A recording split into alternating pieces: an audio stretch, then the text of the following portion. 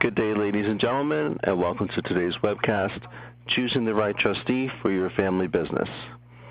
And At this time, it is my pleasure to turn the floor over to your host, Barbara Spector. Ma'am, the floor is yours.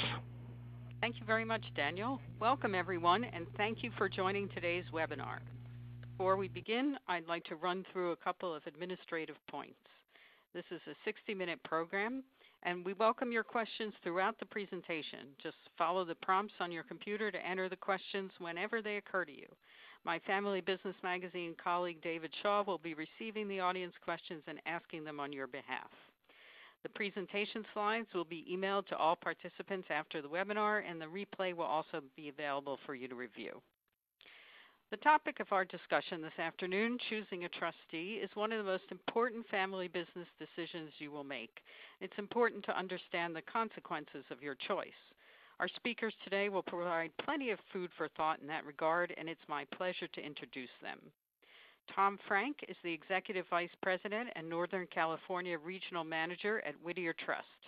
Whittier Trust was started by the Whittier family, a Southern California energy and real estate family, to serve as a trustee for their family trust to streamline the intergenerational transfer of the family's wealth and to mitigate the issues that arise when family members serve as trustees. Whittier Trust is still privately owned by the Whittier family and its employees, and it works with over 400 individuals and families. We also have Tara Bond. Tara is a Director of Shareholder Services for the Clemens Food Group and a fifth generation member of the Clemens family. Her duties include serving as a liaison among shareholders in the company, as well as coordinating professional services. Tara and Tom have a wealth of practical information, as it were, to share, so let's get right to it. To get it started, here's Tom Frank of Whittier Trust. Barbara, thank you very much for the introduction, and welcome everyone. So one of the first questions that folks might be wondering when thinking about this topic is why would you put a family business in a trust to begin with? And in our experience, there are three main reasons. The first is estate and tax planning. Frequently, family business owners can place a limited interest ownership uh, interests, whether it's stock or parts of an LLC or a limited partnership, into trusts for younger generation family members. Discounts can usually be obtained on these gifts for lack of marketability and lack of control. Frequently, these interests may not have voting rights, they may not be able to compel an income distribution, and often they're subject to restrictions on the sale. Another common reason families would put business in a trust is for asset protection in today's age of uh, uh, seeming marital instability sometimes, uh, assets held in a trust for a beneficiary are clearly delineated as separate property rather than marital or community property. And it's easy to commingle assets uh, inadvertently in a marriage situation. And so having these assets separately marked is, is very helpful. Also, typically, assets held in an irrevocable trust will have spendthrift protection, which means that they're typically immune from creditors. And we've seen this happen frequently um, with clients, again, facing either a marital dissolution or perhaps even outside creditor problems. And then finally, maintaining management and control of a family business in the hands of either managing family members or perhaps non-family member managers um, helps transfer ownership of the business while at the same time streamlining control. Let's take a step back and just talk about what is a trust. For those of you who may not be familiar, a trust is simply a legal entity whereby one trustee, one party called the trustee, holds title to property for the benefit of another party or parties. Those folks are called the beneficiaries. There are three parties to a trust, the person who puts the property into the trust, known um, simultaneously as a grantor, trustor, or settlor, depending on the drafting attorney's preference. The person or persons for whom the trust is being established, those are the folks known as the beneficiary. And then the trustee. Importantly, the trustee holds legal title to the property, while the beneficiaries are said to have equitable title in the property. And I think this is where uh, most people know who the grantor is going to be. Most people know what the asset is going to be with a family business. Um, and uh, I think choosing a beneficiary is uh, usually easy. Uh, then we get to the difficult part of the trustee and who naming the trustee and who is going to have control over the trust. Thanks, Tara. Yep. Let's talk a little bit about the duties of the trustee because this comes into play frequently um, in determining who the best trustee would be in any given situation. The primary duty of a trustee is to safeguard and manage the trust property. In the case of real estate, a building, a home, something like that, ensuring the property against loss. That's pretty basic. In, the case of managed assets, whether that's an active business or a securities portfolio, prudently managing the property is extremely important. The trustee will need to make distributions of the property or the income produced by the property to the beneficiaries in accordance with the terms of the trusts. Um, and this could be on a discretionary basis. It could be mandatory income distributions. There are various different arrangements. Fiduciary duties are set out both by the common law, court cases, and statutory law. The law is different in each state with respect to the statutory restrictions, but these are some of the common fiduciary duties. There's a duty of loyalty. So the trustee has to administer the assets of the trust solely in the interest of the beneficiaries. There's a duty of prudence, which is an objective standard of care in managing the trust property. There's a duty not to commingle the trust property and the trustee's personal property. And folks might think, well, that should be pretty clear and not uh, something that happens very often. But I have to tell you, Tara, in our experience serving as a corporate trustee, sometimes individual family members, particularly a surviving spouse who serves as a trustee, may inadvertently commingle her own property with that of the trust for ease of management. There's a duty of impartiality. There can't be any favoritism on the part of the trustee between the current and future beneficiaries. And then finally, there's a very important duty to inform and account to the beneficiaries. Tara, can you think Barbara. of anything else? Um, I'm sorry, this is Barbara. I was just going to jump in and say, in the duty to inform the beneficiaries, does that include explaining why decisions have been made, or is that really the grantor or the family's responsibility? So would that be why decisions were made about how the how the trust is being managed? Yes. Yes. Um, the beneficiary always uh, can always ask, but it, it, it is really up to the um, the trustee has the fiduciary duty uh, to make decisions that they think are um, at, you know in the best interest of the trust to protect uh, to protect the trust asset.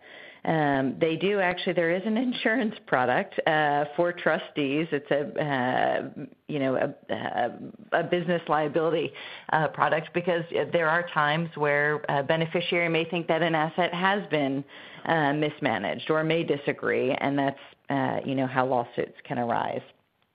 Um, uh, in the in the in, in family businesses where the, the family business asset uh, is uh, is what's being held in trust. Something, one of the really difficult things I think that a lot of trustees um, have is really uh, the fiduciary duty uh, and the the duty to diversify assets. And I think we'll get into that in the next slide. Yeah, that's right. The beneficiaries have a remedy um, typically under state law to demand what's called an accounting. So they can actually go before a judge and demand that the trustee explain to them what has happened in the trust. Um, usually that's limited to a list of the assets and a list of the transactions. In practice, in my three decades of working at, at corporate fiduciaries, a best practice is really to keep all of the beneficiaries informed in a general way about what is happening in the trust Um, that builds a, a, level of trust and comfort among the beneficiaries with the management of the trust and tends to forestall any difficult situations, including litigation, as Tara mentioned.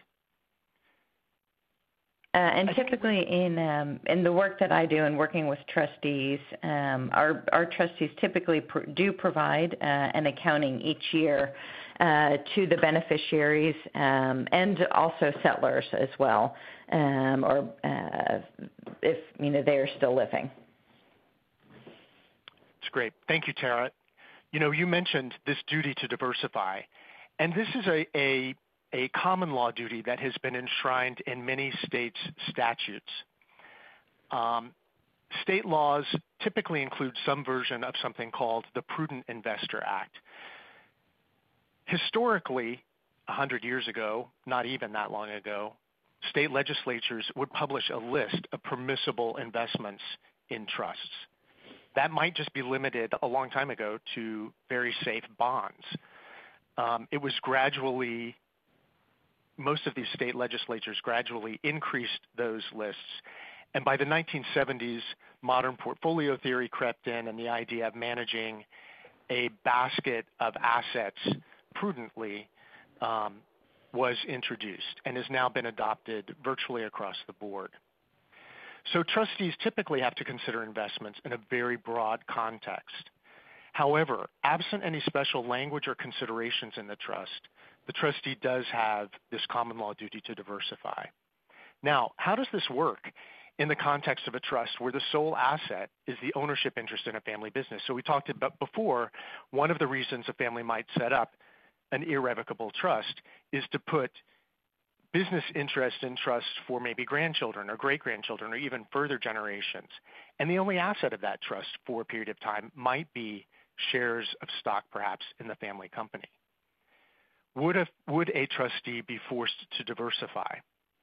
And again, this, depending on. Go ahead. This is um, one of uh, so the Clemens family. We use trust for minors to pass down ownership interest uh, in the company, um, and typically those shares come out of trust sometime. Um, there is individual ownership after that. Sometime uh, when the beneficiaries are typically in their 20s.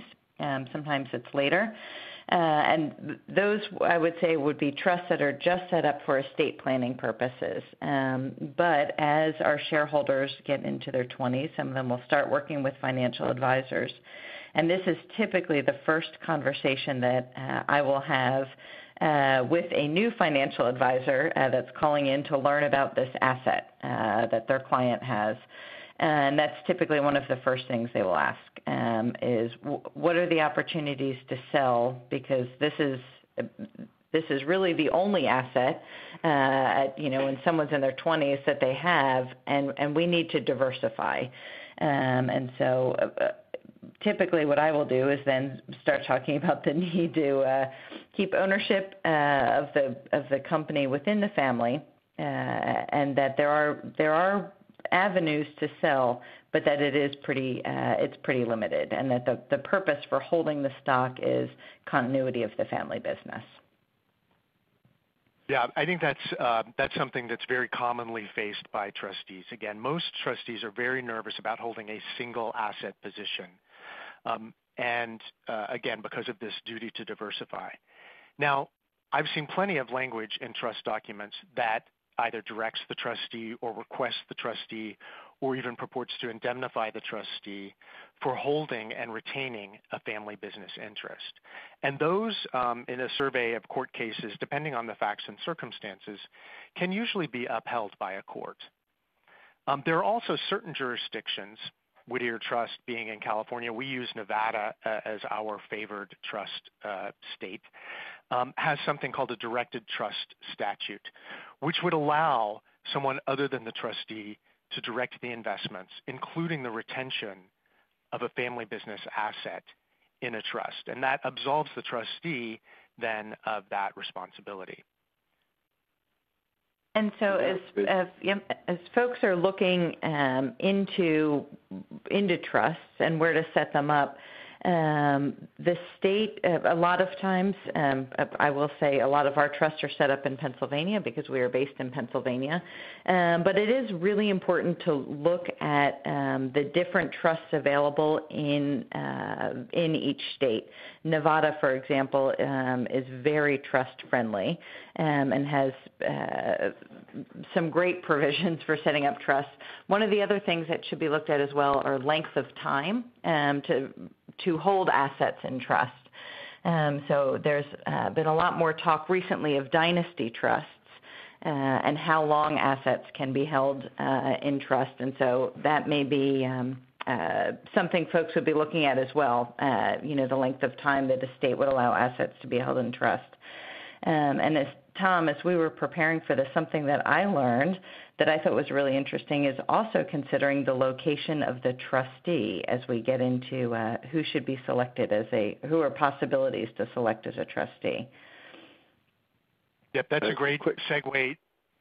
I'm sorry, a quick a quick question from uh, the audience. Uh, what what you were both talking about uh, in terms of the duty to diversify. So just just to be clear, uh, there for a family-owned business that might be worried about loss of control issues and so on, that that duty to diversify doesn't necessarily mean diversifying beyond family business stock if it's a directed trust, correct? And then I guess a side question to that is, Tara, does Clemens allow uh, the sale of, of stock and diversification to other kinds of assets? Uh, so we do, uh, yes, we do allow the sale of uh, stock in very uh, limited cases. Uh, we have what we call a redemption policy, and we are allowed to redeem stock. We allow shareholders to redeem stock for education, and then also um, for the for the purchase of a home, for the the purchase of their first home, a, certain amount. Um, but that really is uh, those are really the only opportunities to redeem. Um, so typically, the question that I get uh, when a, new financial advisor comes on board is, "What else is there?" And and there really isn't anything else. Um, and I, think that does make folks nervous um, because there is a duty to diversify. But again, the, the purpose of the trust is to retain ownership of, uh, retain family ownership of the business. And so language along those lines can be included in uh, trust documents that, you know, this is the purpose of the trust. Yeah, I think in practice, the, um, the inclusion of that language, or if someone is really concerned the use of a uh, a friendly jurisdiction, whether it's Nevada or Delaware, that would allow a directed trust.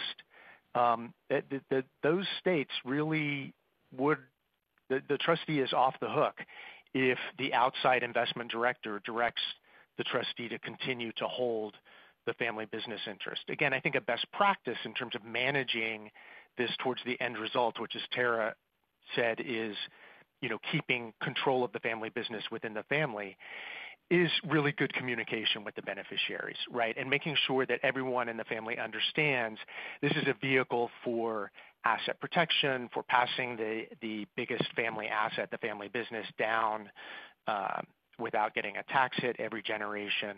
You know, all of the reasons for that, articulating it, documenting on the part of the trustee, documenting um, why the why the trust is in place and having these discussions with the beneficiaries will all go a long way towards protecting the trustee from liability. If we move on to Yep, sure. If we move on to the issues in selecting a trustee, um, obviously, you know, the, the grantor, particularly if this is G1, you know, the first generation wealth creator, they want someone who would look at the world and uh, see the world as they do with respect to their, family business. There's clearly a need for business continuity, so some sort of management transition, whether that's to family member, member managers or non-family member managers, or a combination thereof. Obviously, the grantor is going to want someone who will work well with management. And then perhaps, depending on the type of business, a trustee who has some particular expertise or knowledge who can provide ongoing counsel uh, to the business, right? I mean, you've got management who's trying to run this business, and then you may have family member owners who aren't part of the business who have a lot of questions. And so sometimes the trustee can sit in between and assist management with shareholder communications. Um, Tara, does that happen in your family? Uh, actually, I was going to say uh, that typically is uh, the role that that I uh, serve, um, and uh, my colleague as well. That that we serve as the the liaison between you know the the family and and the business. Uh, the trustee, we have a number of um, different trustees. Uh, there, we have a few corporate. Um, we have some relatives, siblings, and parents, and I know we'll get into issues inherent uh, in those. Um, and then we have one individual who actually was part of the company, was a, a corporate secretary. Um, and while he was with the company, uh, he now works for a, a wealth management firm. Uh, but while he was with the company, did serve as the liaison um, between uh, the trustees uh, and what was going on in the business. I think sometimes you do want to be careful that the the trustee that you have um, uh, that the duties that they have for the business does not also conflict with their duties as a trustee. Um, so that is something uh, just to be mindful of. Um, and the one individual that I mentioned who, who now works for a wealth management firm, uh, he actually is a trustee for about 100, a little over 100 trusts that we have um, set up for uh, for minors. Uh, so when we go through any sort of change in either the redemption policy or if we're talking about cash needs of the business, he is someone that we will reach out to to keep informed um, of the goings on in the business. You know, Terry, you raise an interesting point about potential conflicts with the trustee and, and either someone in management or, or, someone else in the family. And, and I've seen this come up in situations sometimes where the family lawyer you know, may represent one or more generations in the family um, and just serve as a general counselor to the family. They may also be involved in the business. They might be general counsel to the business. They might be on the board of the business. And then if they're also asked to serve as a trustee, that puts them in a tricky situation. And so I think in situations where a family has outside advisors who they want to be a part of this process, it's really helpful to break out everyone's roles and responsibilities ahead of time. You know, Terry, you also brought up in our in our pre-call for this, uh, one of the issues in selecting a trustee is actually this, the state in which your trustee resides. So uh, California is specific in this regard, and, and I think perhaps different. There may just be one other state. I haven't done an exhaustive review, where the the mere fact that the trust administration occurs in California will subject the, at least part of the trust assets to California state income tax. And so for um, families where the family business and the assets are in California, that's going to happen anyway. But if you've got a family business, Tara, like for example yours, that's in Pennsylvania, and you may have a family member who lives in Malibu and wants to serve as a trustee, um, just know that that may create some income adverse income tax consequences to that particular trust.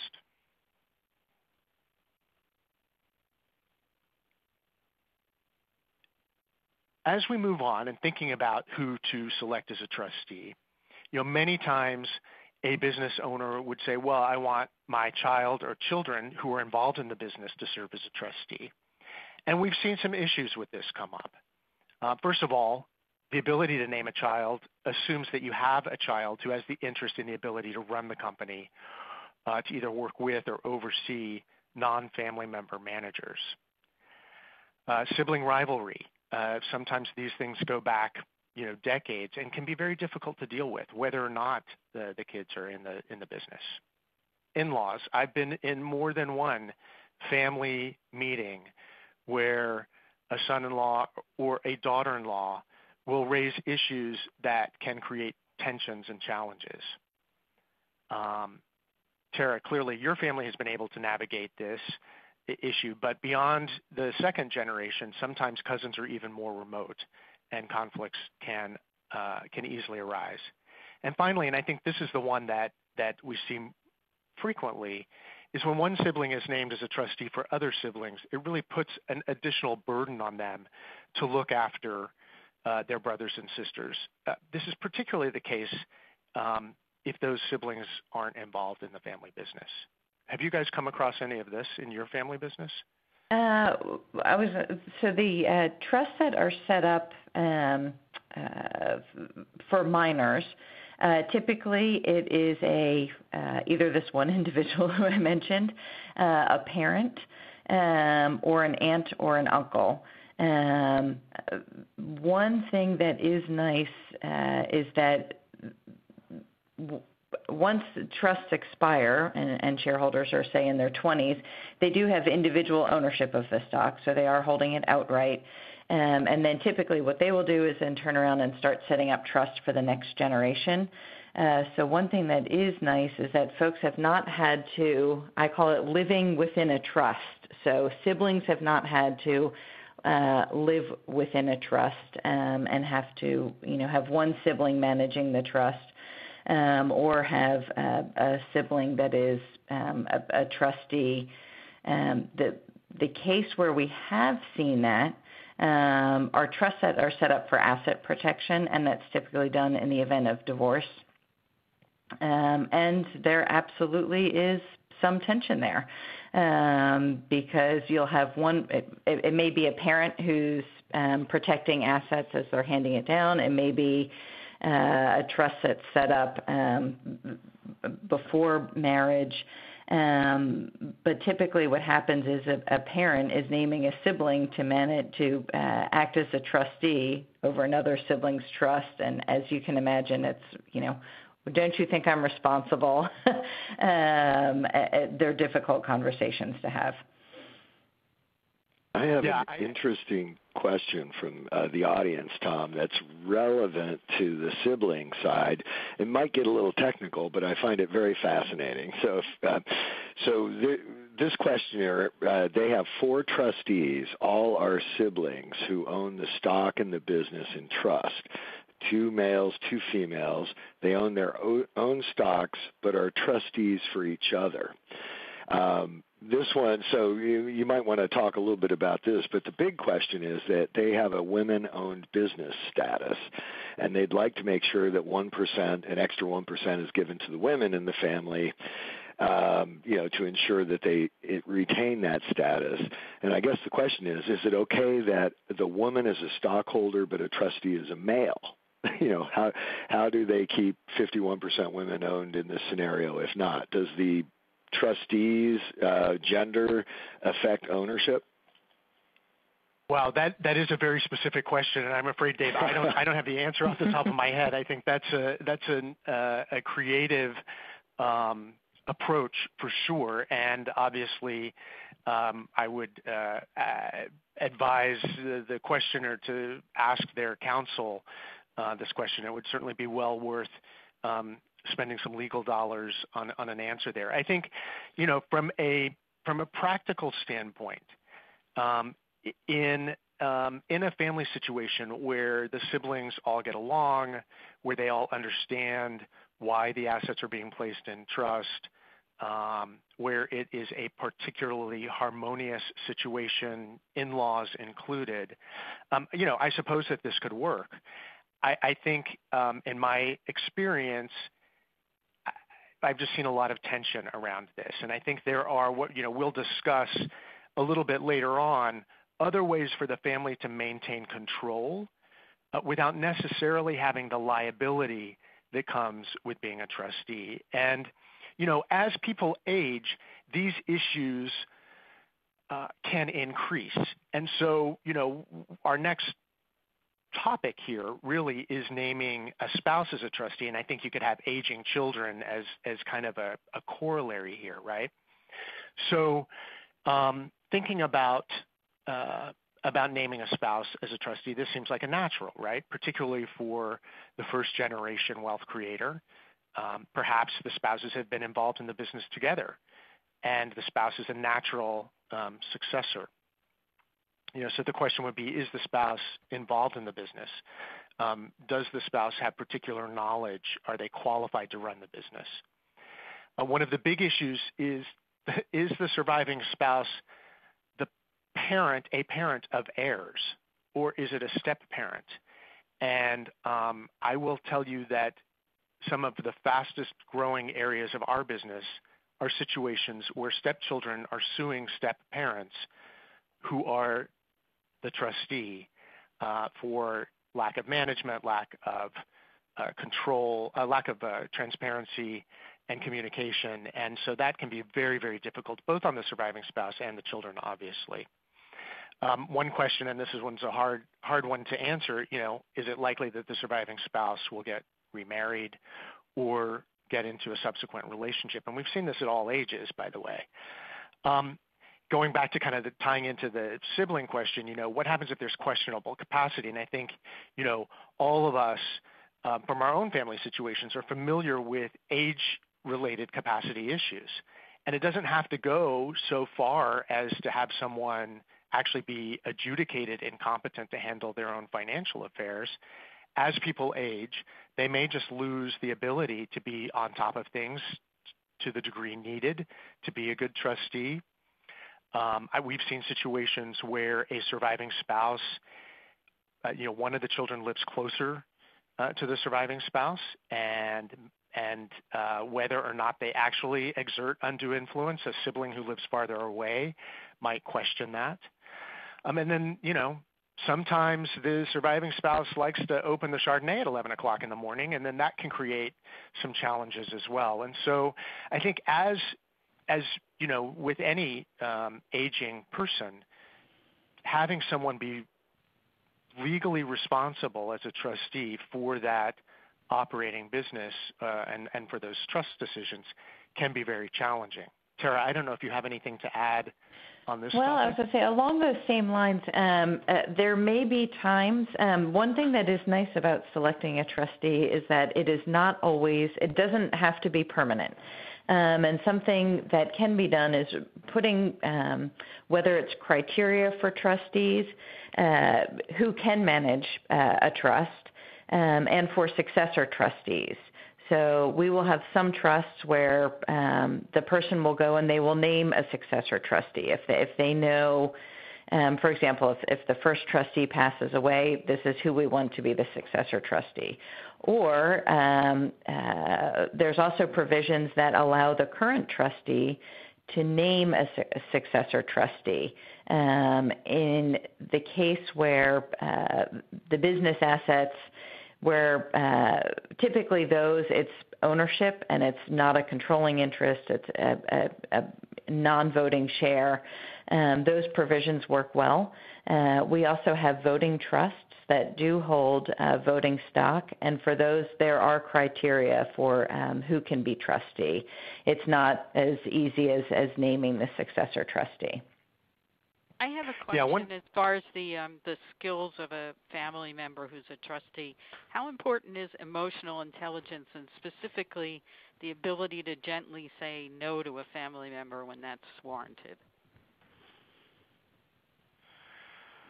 Wow, that's a really good question. I mean, I think a you know one of the um, one of the duties of the trustee is to be responsive to the beneficiaries, whether those are the current beneficiaries who are receiving perhaps the income from the trust or future generation beneficiaries. And so emotional intelligence certainly helps.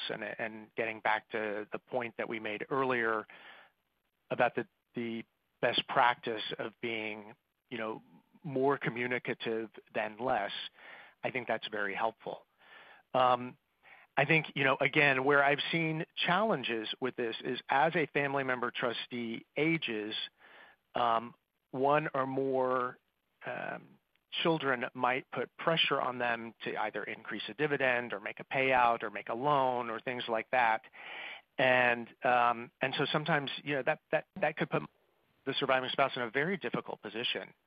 To and and, it, and it's hard to say no. You know, it's hard to say no to your children who might uh, actually have a good need for the money. Um, and the, challenge comes in is that when siblings aren't aware of the situation or aren't in agreement with the situation, they may come in and, say, well, you know, there's there's undue influence here. And I, you know, I've seen specific cases of that where there's just been a general level of mistrust. And again, communication tends to uh, dampen the tension around those types of things. You know, one of the things that we didn't mention, Tara, was the, the ability sometimes to name a co-trustee. And so perhaps um, having a family member serve as a trustee to deal with some of those more EQ issues, along with a, a trustee who may have more involvement in the business or more business acumen or just may be able to keep better books and records, sometimes that's a really good solution for families. Absolutely. Um, I think um, I'm trying to think if we have any with uh, co-trustees. Uh, um, not offhand that I can think of, but I think it is an excellent way, uh, uh, especially if you're a parent um, setting up a trust uh, for a child. So if if it's passing down ownership of a family business um, for estate purposes. So, um, you know, we have a lot of trust, as I mentioned, set up for minor children. Um, sometimes having that uh, a co-trustee there is nice. You may want a parent, which is great, um, and you know also someone uh, in the business as well. Yeah.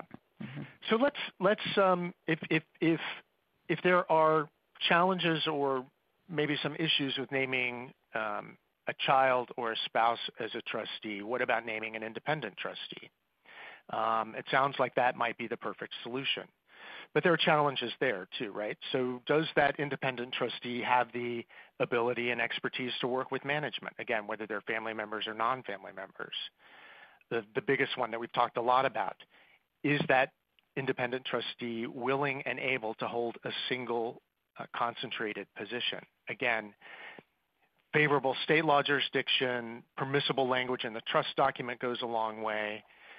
Does that independent trustee have the ability to mentor and provide stewardship training to younger generation family members? We actually see this a lot where business owners will come to us and say, look, you know, my um, my children or my grandchildren have these trusts and they're going to be receiving dividends from the family business. Um, they don't really know what to do with this money. Can somebody um, at the trustee's office talk to them about basic financial literacy and uh, what it means uh, to have the, responsibility that comes with being the beneficiary of the trust. Ultimately, however, and I think this is what you know what you've stated, Tara, and is certainly the case with the Whittier family, the, founders and, majority shareholders of Whittier Trust, is they want family control. Absolutely, um, and I think um, uh, I have heard of uh, certain instances. For example, and I'll, I'll, get back to the voting shares, our voting trusts. Uh, the voting trusts uh, are always family members, um, and like I said, there's there's certain criteria. It's age, management experience um, uh, that vote the you know, they vote in the board of directors. It's ultimately control of the company. Um, and I think uh, as you're looking, as families look at trusts, um, they should absolutely look at provisions for uh, how control of the the company is maintained. Um, so, for example, with the the trusts for minors that we have set up, there really is no uh, company control issues there. Um, there are some uh, very few state law provisions in Pennsylvania where those shares would actually have to vote on things. Um, but ultimately, it's it's the voting trustees, um, and and one of the criteria for those uh, trusts uh, is that it is a family member. Yeah, that seems like a great idea. I'm sorry to interrupt. I, I had a question. If a family business has strong professional management, why would the family want to put their ownership shares in trust?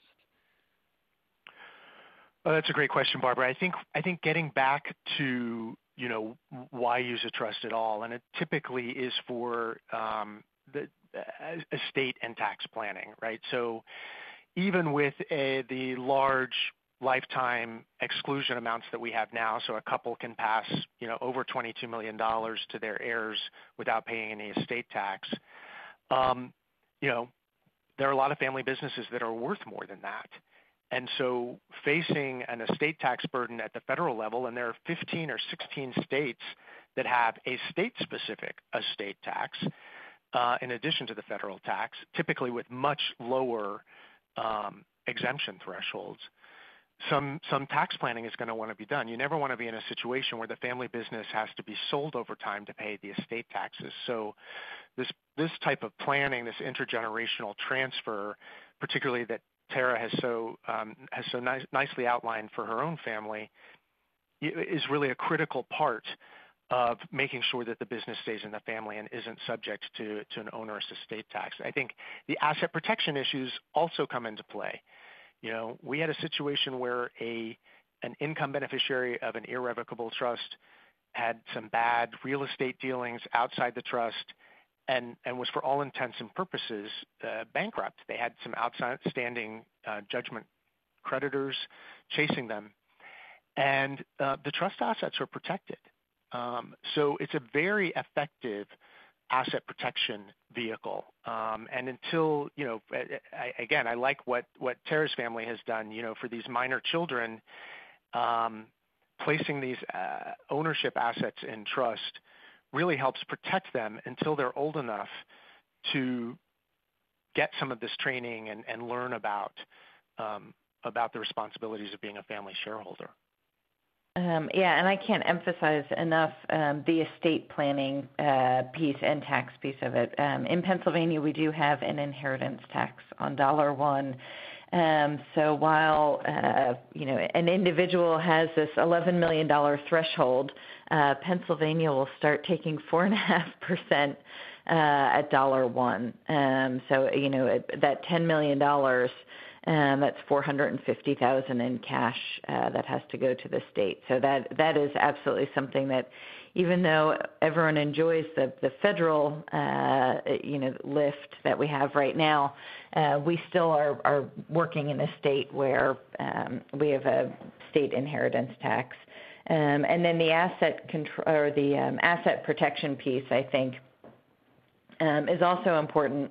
Um, families absolutely struggle with talking about prenuptial agreements.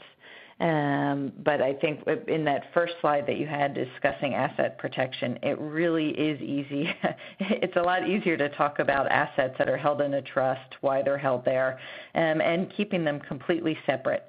Um, as you know, instead of uh, commingled with other assets, um, it, it's it's trusts are easier, I think, than having that prenuptial conversation sometimes.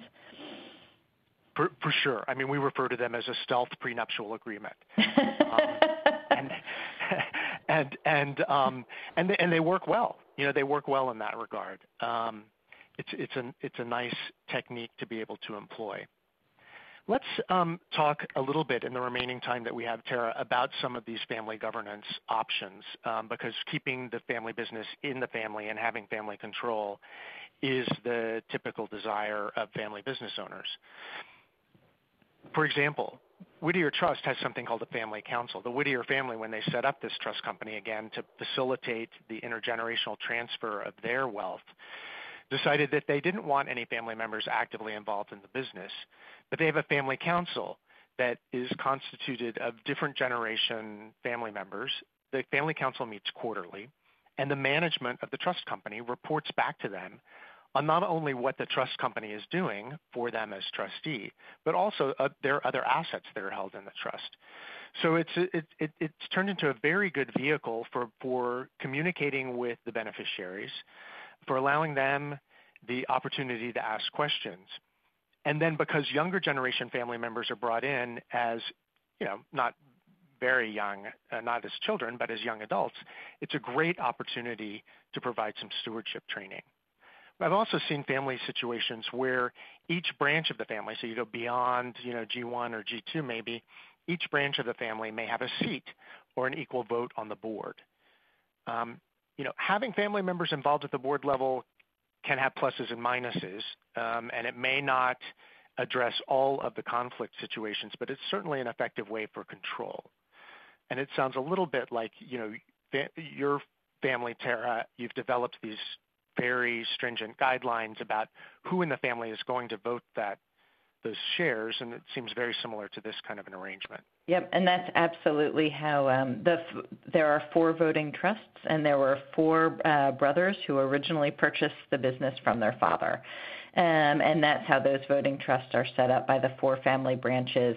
Uh, they vote in the board of directors. We have an independent board of directors, um, but they are the those four branches hold um, hold control.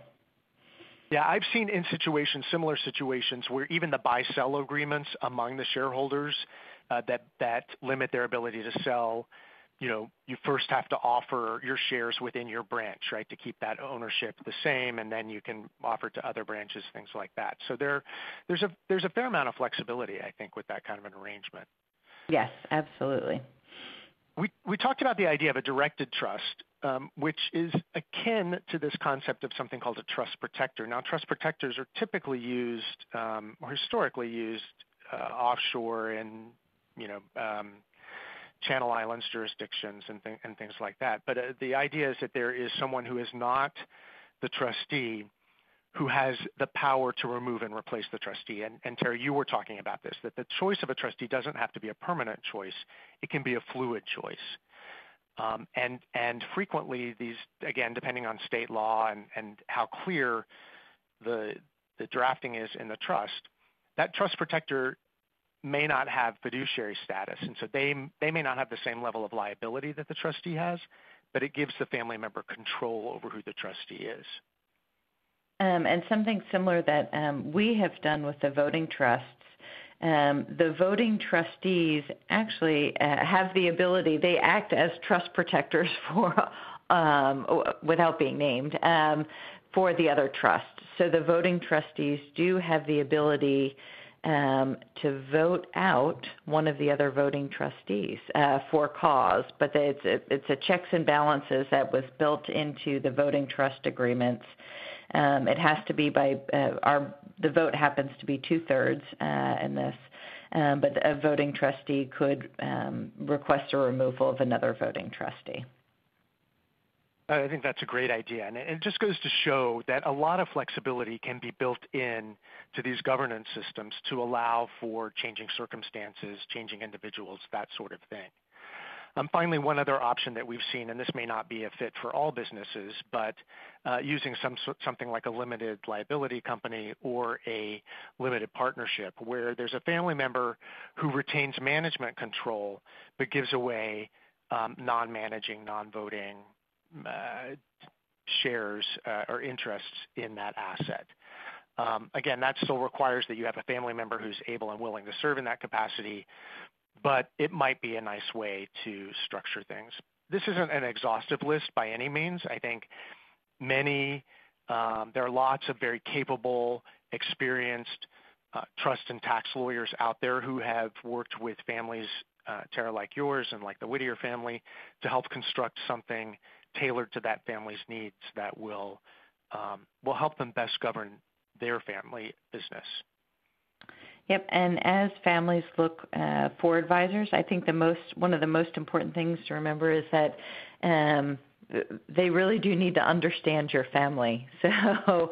Uh, if some, you know, if an advisor comes in and says, "Well, this is the best practice. This is how it has to be done," and and that doesn't work for your family, they need to understand that um, and provide other solutions um, or you know look for different advisors. Um, I think knowing that there are so many different options out there um, and working with a, an advisor who really understands what the family goals are um, in retaining ownership of the business is, is important.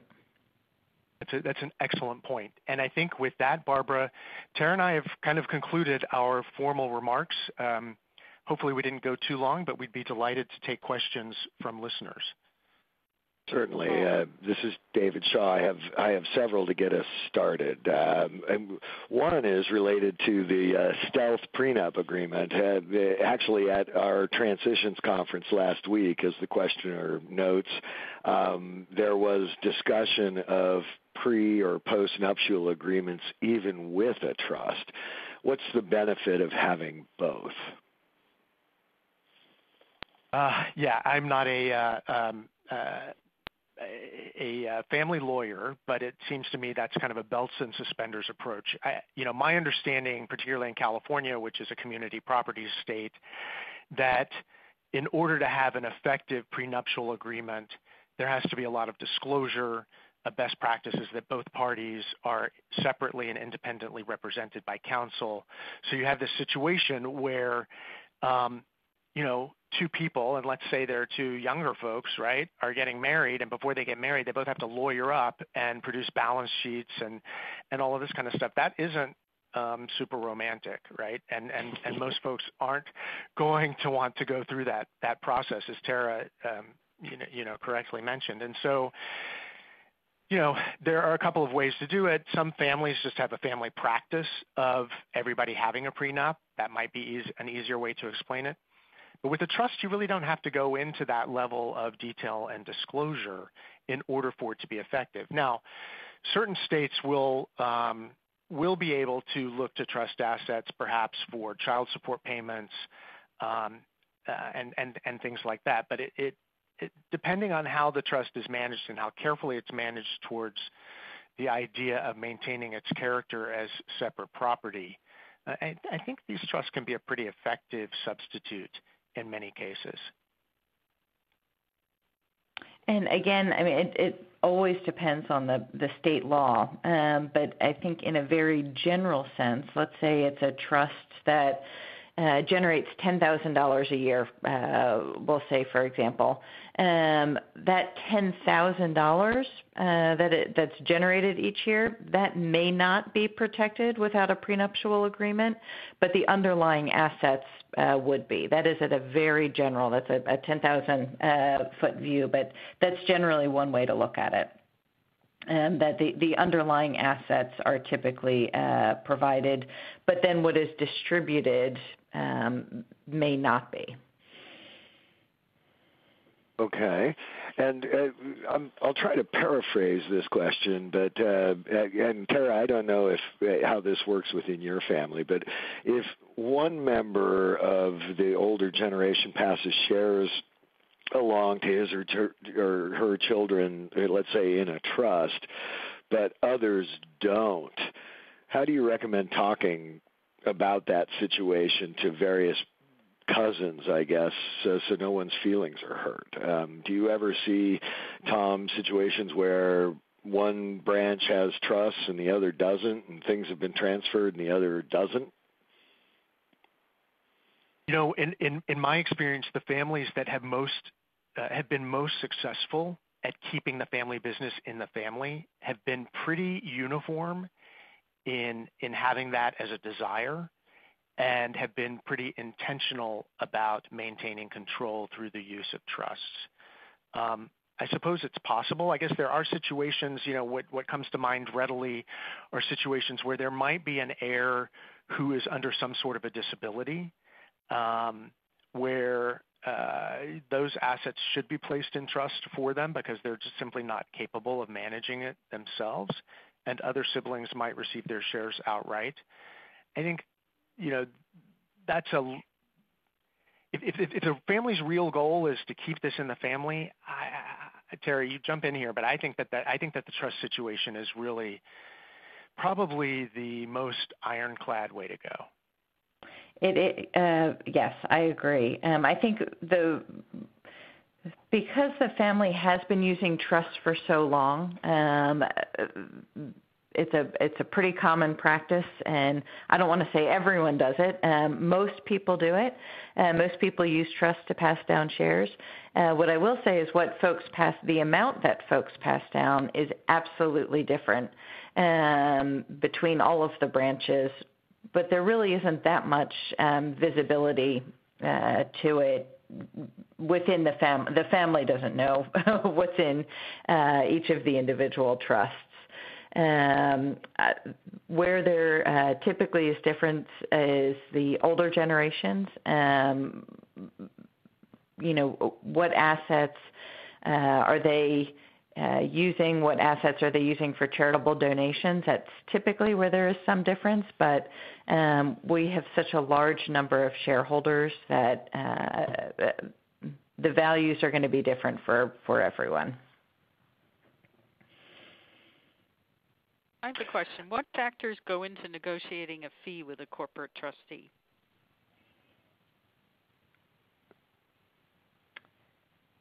I would say so.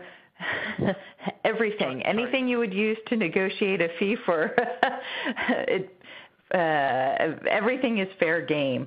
Um, typically, uh, I think a lot of people are hesitant to use corporate trustees um, because corporate trustees will and I'm thinking of a few um, banks uh, that I've worked with they'll look at the value of the asset and that's what they base their fee structure off of. That is absolutely negotiable. You know, if it's company stock uh, and it's, you know, increasing, decreasing, uh, you can take that portion out and talk about all of the other liquid assets um, under management. Yeah. So I think, uh, Terry, you're absolutely right. It really depends on what the corporate trustee is going to be doing in addition to serving as trustee. So, um, will the trustee be sitting on the board? Will they be voting shares? Um, those are positions of increased responsibility for which the corporate trustee may want to be um, compensated separately. And again, that may not the, typical charge for a corporate trustee on on liquid assets is the percentage of the assets under management. And frequently, as as Tara mentions, that doesn't apply in the situation of a family business. So I look and say, "Well, what what are the roles and responsibilities of the trustee in this particular situation?" A directed trustee, for example, who really is just you know, providing safekeeping and a little bit of record keeping, um, and that's the only asset. Uh, in that situation, the fee would be less again, in a situation where the trustee might be sitting on the family board, making distribution decisions, making dividend decisions, um, making corporate level decisions, um, the compensation should be commensurate with those responsibilities and activities.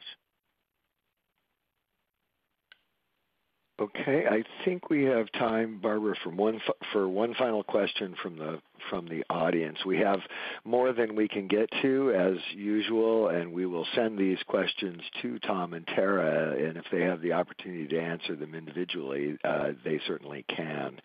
Tom, this this may be more for you, given the way uh, Clemens's uh, trusts are